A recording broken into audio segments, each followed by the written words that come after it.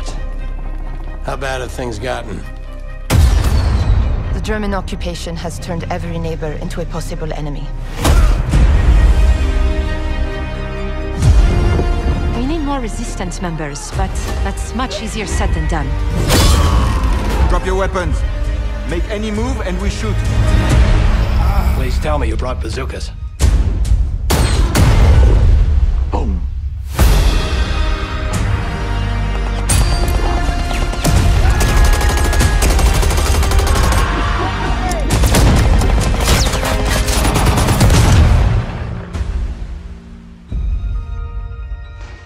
Okay. That's a piece of shrapnel.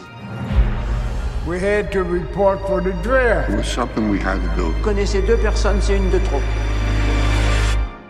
You want to hear the rest of the story?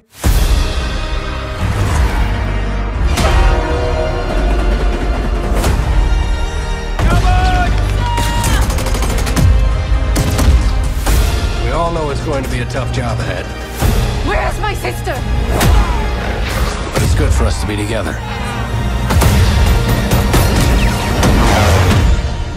That's all we can ask for.